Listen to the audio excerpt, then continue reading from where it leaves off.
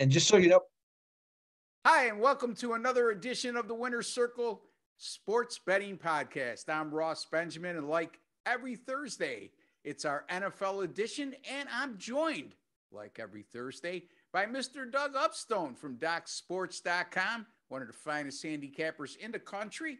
Doug, how are you today? I'm doing excellent, Ross, and I got a little uh, Christmas uh, cheer here with a little Santa on a shirt here today to go along with a red sweater. Ho, ho, ho. And uh, so we're ready to fire up some football. Uh, we got the bowl game starting this weekend. We got NFL, and we got we got games, two games on Saturday. Looks like a pretty good weekend, Ross. Yeah, I mean, a sweater in Arizona. What's up I, with that? Little chilly these days. Well, you know, once that thermometer gets below 60 around here, and you've been here as long as I have, the uh, got, gotta gotta dress accordingly. You know, it's it's all the people that are coming in from other places that are wearing shorts now. Yeah, I mean, 57 in Western New York in December.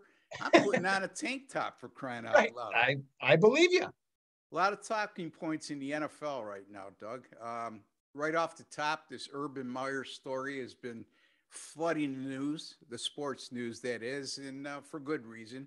And we don't want to beat it to death, but one thing we did notice uh, off air when we were talking is uh, this line went from three and three and a half. Well, it opened at three and a half, Doug. And I was talking to Chip Chirimbus about this yesterday. I said, Doesn't it strike you funny? This is before the firing. I says, Here we have a 2 and 11 Jacksonville team that's an absolute internal mess on and off the field. Um, and they're a three and a half point favorite. Not only a favorite, but they added the hook to the field goal. You know, uh, it just to me they're giving you the winner here. And then they fire uh, Meyer last night, a press conference at one o'clock in the morning, Doug, Eastern time. That is, of course, that's you know that's right, ten o'clock your time, but still that's late, right? Um, and uh, I just looked now, and Jacksonville's up to a five and a five and a half point favorite. What do you make of it? Well, I, the I, I honestly don't even have a good answer for you. It doesn't make it other than it doesn't make any sense. Um, you know, maybe the team will, will be more calm okay based on on you know and be happy because even lawrence mentioned yesterday in a press conference trevor lawrence i should say he mentioned yesterday that you know that uh, things just need to calm down here and he goes i realize in the nfl that there's a, a lot more uh, different things going on.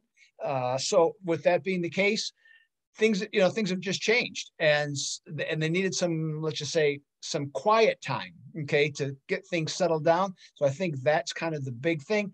But beyond that um, i don't know i don't know of anything happening with houston to tell you the truth you know that maybe some covid issues that have come up there that i am not aware of. Uh, i'll be honest ross not a game i'm looking at this weekend. Yeah uh, i thought there might, might have been a call from seattle's front office cluing you in on what's going on but yeah, exactly, or something like that. yeah. Anyway, I'll, I'll, try to make sense of it, if I may. Um, look, uh, you read all everything that's been going on over the last couple weeks. He was not a well-liked coach. There's no two ways about it. And now more is coming out. Um, he was dehumanizing. He was um, very belligerent to not only his players, his coaching staff, and uh, people in the organization. So uh, that created a negative atmosphere beyond belief. Uh, you can't treat pro players like you do college players. And that's why a lot of the, well, I shouldn't say a lot of the time because you look at Cliff Kingsbury, he's actually a better NFL head coach than he was at Texas Tech. Um, but you can't treat NFL players the way you treat college players as a head coach anyway. Um, it doesn't work. Um, from what I understand, he treated players at Florida and within that building the same way, and at Ohio State the same way uh, that that he did uh, at at this stop in Jacksonville, which is just uh, what was it a 13, 14 game stay at Jacksonville? I yep. think it's the shortest NFL tenure since Bobby Petrino in Atlanta and Lou Holtz when he was with the Jets in 1976 or so. Uh, in any event, um, this isn't going to be a quick turnaround.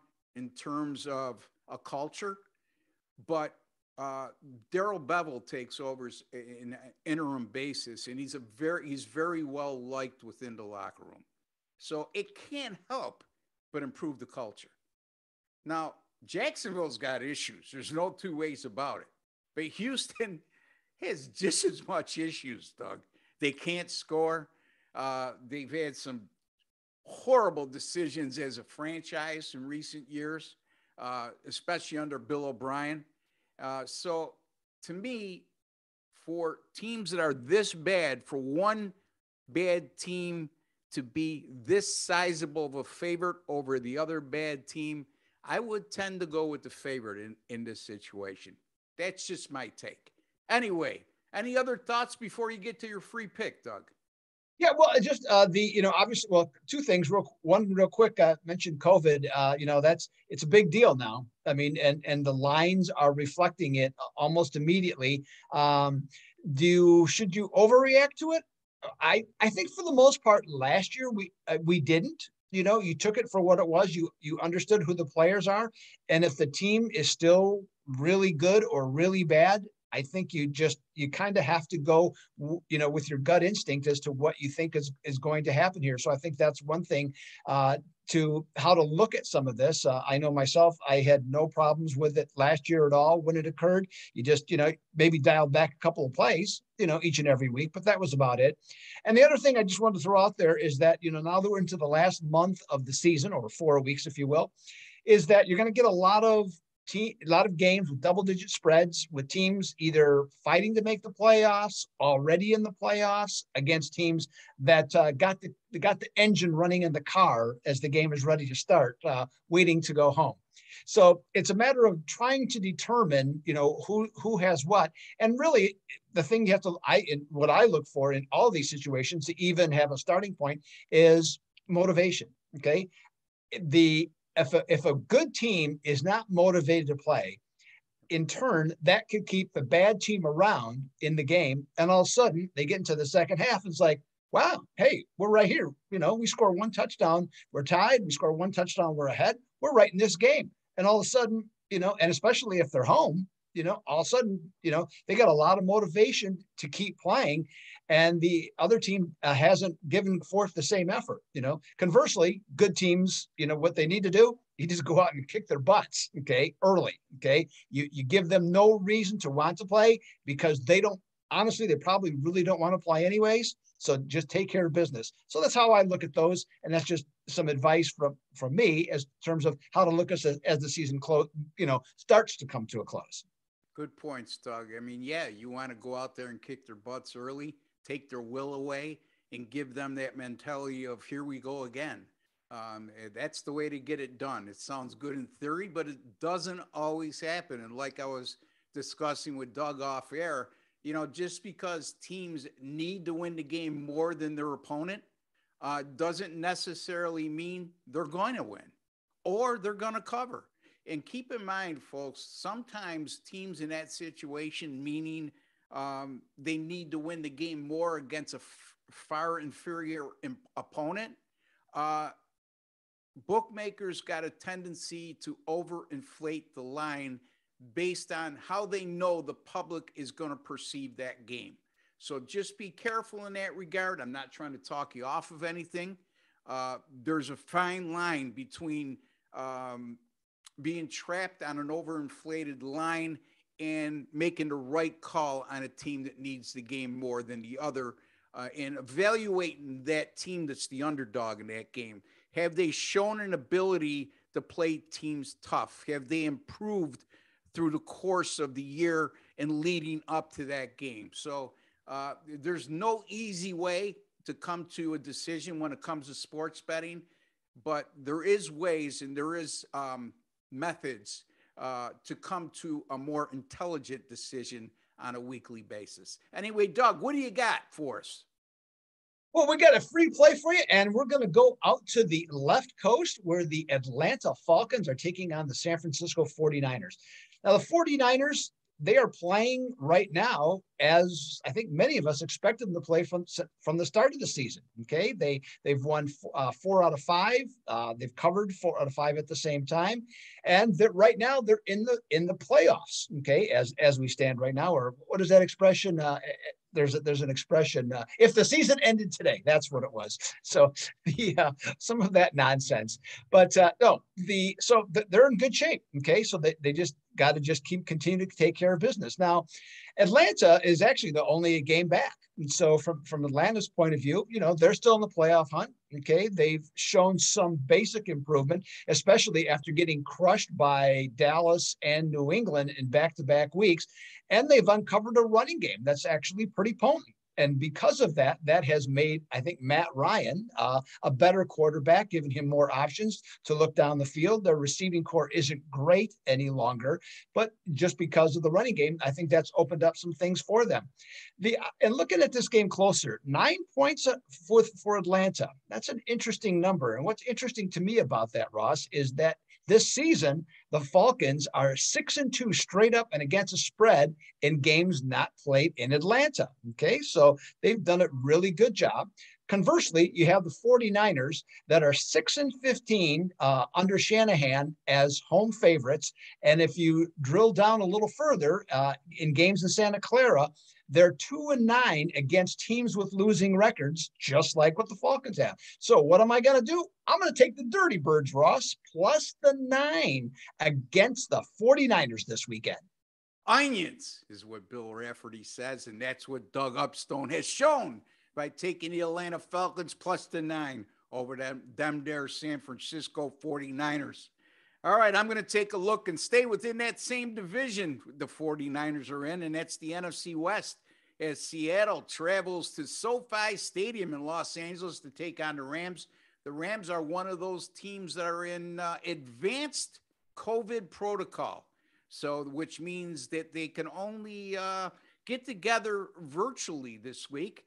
And uh, also, they're coming off a big Monday night victory at NFC West division leader Arizona. And who they taking on? They're taking on the bottom feeder in the NFC West, which is, uh, I don't think a lot of people predicted that before the season started.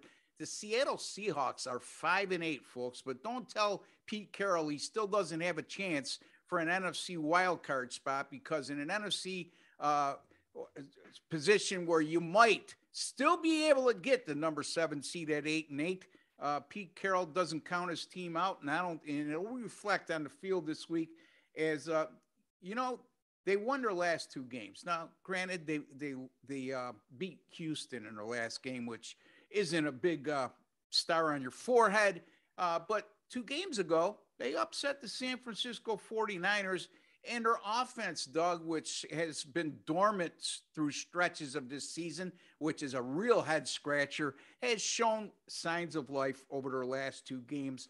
I think Seattle, if they don't pull the upset here, are going is going to take this game down to the wire against a LA Rams team. I think is in a very vulnerable spot here, Doug. Coming off a Monday night win against a division leader and having to deal with um, the situation they're in, uh, being uh, meeting virtually, being in advanced protocol. I'm going to take Seattle here. Go out on uh, on a uh, limb here and take Seattle plus the four and a half at the LA Rams in Doug Upstone. Doug Upstone. He likes the Atlanta Falcons plus the nine and a half. Doug, what do you got going on this week? Uh, how you been doing? And where could the good folks out there find you? Well, as I say every single week, Ross, you can go find me at uh, Doc Sports. It'd be the Doug Upstone page at Doc Sports. You'll see this mug as one of the 12 faces on the homepage. So just click on that, and that's exactly where, where I'm at. And then this, so this week, uh, since we're talking football, once again, I have a top play. It's going to be a six unit play. And this season in NFL weekly best bets, Ross, 11 and three. Okay just what the numbers say there. That's uh, uh, and in terms of the profit on those, that's over five thousand dollars of profit based on units. So it has my best bets have been killing it all season long, and I got another one coming this Sunday. Now, of course, along with that, we have college football fired up um, starting on Friday with the, the, the uh, bowl games and what 43 bowl games I believe we got uh, this year. So last year in the abbreviated schedule, I was eight and four and picked up almost two thousand dollars worth of profit. So I'm excited to get this rolling. And uh, between uh, Friday and Wednesday, I have uh, six plays going, and you can get the entire package, okay, of football, which in, which will include the best bet in the NFL and and three other plays in the NFL for just ninety nine dollars wow. complete. So wow. that's what I got going, Ross. How about you? What do you got going? That's a great deal. And eleven and three, with your uh, best bet, six units or more. Is that what that record was? That's exactly correct. Can you explain that? Uh, yeah, I've been good on those. because I'm teasing you because I used to hear your promos all the time and say, I'm 32 and 11, but I just can't explain it. So I, I, was wondering if you could, and you could explain. I, I can, I can right now. There's other right. times I even I wonder. All right, fantastic. Anyway, all in good fun, Doug. Um, you could find me at rbwins.com, folks. My NFL 14 and 8 with my last 22. Uh, that's good for 64%. I'll have a 10 star top play on Saturday night in the NFL, as there's uh, two games on Saturday. One I'm not going to touch. It involves the Cleveland Browns, who have all kinds of COVID issues. And the other involves the New England Patriots in Indianapolis Colts game. Huge game with uh, AFC playoff implications. And I got a 10 star top place side in that game. And by the way, folks, my 10 star top plays, I can't explain it too. I'm 10 and 3 with my last 13 plays as far as my 10 star top plays in all sports. Speaking of all sports, I'm on a 50 and 32 run with in all sports, which is good for 62%. Um, also in college football, as Doug alluded to, bowl season is upon us. And uh, I finished the last six weeks of the college football season. I shouldn't say the last six weeks of the college football season. Over the last six weeks in college football, I've gone uh, pretty good, folks 27 and 14, which is good for 68%. Did I miss anything? I don't think so. Eh, that's a lot of winning. You can find me at rbwins.com. I don't know why you wouldn't seek either one of our advice at this time of year. I know you're busy with uh, the holiday season upon us. Uh, you don't have a lot of time. You're spending a lot of time with family. You're out Christmas shopping. You're at Christmas parties. Invest a little bit of money to make a lot with uh, Ross Benjamin at rbwins.com and Doug Upstone at docsports.com. Again, for Doug Upstone and Ross Benjamin, we like to wish each and every one of you a happy and safe holiday season. Until next Monday, for the both of us, we like to wish each and every one of you all the very best of luck. Take care, folks.